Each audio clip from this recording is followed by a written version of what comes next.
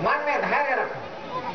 मैंने पतालपुरी जाऊँ, पताल पुष्ट को रहा मैं प्रभु के प्रताप से उसे यह भी को ले आऊँगा। तुम लोग सेवा को इसी रखे रहो? कि दोनों में चाहे